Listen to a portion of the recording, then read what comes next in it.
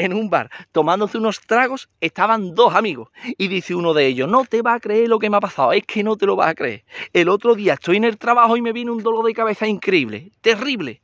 No podía ni trabajar. Mi jefe me mandó a mi casa y cuando llego a la casa me encuentro a mi mujer con otro. Dice el amigo, hostia, que te encontraste en la casa tu mujer con otro. Y dice, sí, con otro dolor de cabeza. dice el amigo, vaya, qué pedazo de chiste. Cuando me encuentre con un colega, se lo voy a hacer. Efectivamente, al día siguiente se encuentra con un colega y le dice, yo no te lo vas a creer. El otro día estoy en el trabajo y me viene un dolor de cabeza increíble, terrible. Mi jefe me manda a mi casa y cuando llego me encuentra mi mujer con otro. Y dice el amigo, sí, ya lo sabíamos. Lo que pasa es que nadie te lo quería decir. Había un tipo que era celoso, muy celoso, siempre estaba dudando de su mujer. La llama por teléfono y le dice, cariño, ¿estás en casa? Y dice, ya sí, estoy en casa, cariño. Y dice, venga, pues enciende la licuadora. Y dice, ya venga, de acuerdo, enciende la licuadora. Y dice, venga, vale.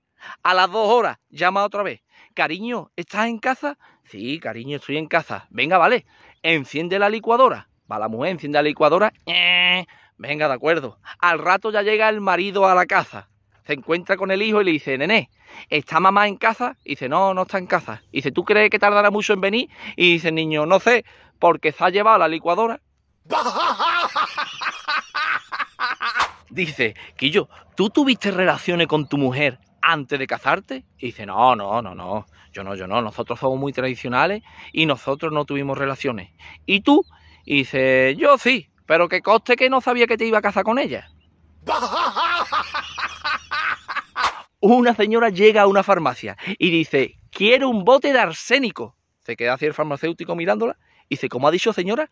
Y dice, sí, sí, un bote de arsénico de un litro, de un litro y medio, de dos litros, de lo que tenga.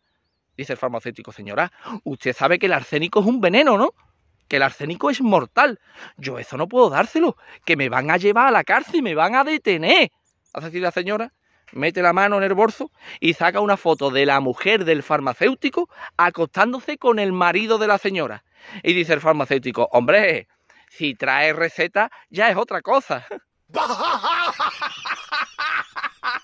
Le dice un amigo a otro, oye, ¿a ti te gustan los tríos? Y dice, hombre, a mí me encantan. Y le dice, pues corre para tu casa que me parece que han empezado sin ti. ¡Ey! Muy buenas a todos, ¿qué tal estáis? Espero que bien. Oye, esto de los cuernos que sea solo para los chistes.